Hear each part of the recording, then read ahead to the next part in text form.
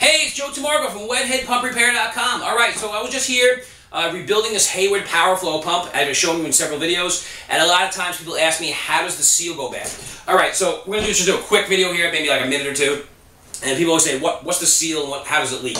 Okay, so basically you have two parts. Okay, pretend this was mounted to your motor here. Okay, you have one part of the seal inside here. Robert, come on, I want you to zoom in here so these folks can see.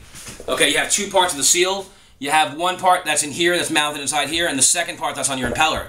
And what happens after a while, when these pieces turn for a long time, okay, it starts to wear. Just like your toilet bowl flapper, it starts to break down that. You see that? I think I'm getting black all over my hands. That starts to wear. The spring starts to rust up like this and doesn't really work. And then what happens is water will leak through that hole, okay, and that's where the shaft is in the motor, and then it will make your bearings go bad inside your bearings. So basically, this goes like this, like that would be mounted to your pump, and then your impeller would be like right here. So when the seal goes bad, water shoots through here, through that seal, and then starts shooting into your motor, and then you can see it starts wetting ugh, the grass and stuff on there, and gets it all nasty. But the good news is that you can fix this, okay? And you can fix it with two bearings and a seal from us, okay? So wetheadpumprepair.com. This is Joe Tamargo. If you need anything, please give me a call. No problem. A lot of times I even answer the phone, and I'll be able to help you, okay? All right, so if you need a seal, it's a PS uh, PS200 and this Hayward Powerflow pump.